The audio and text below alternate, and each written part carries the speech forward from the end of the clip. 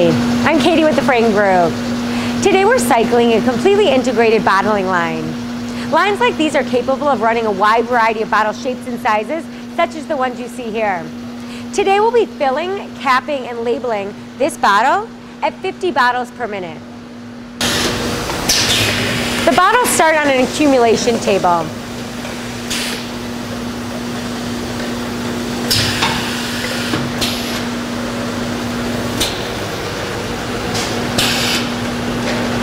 From here, the bottles enter the 10 head overflow filler.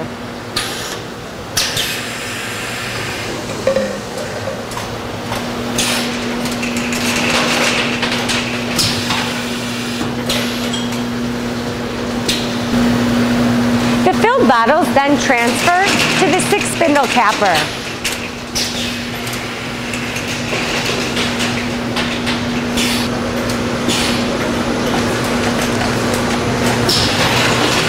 The then transfer into a pressure sensitive wraparound labeler.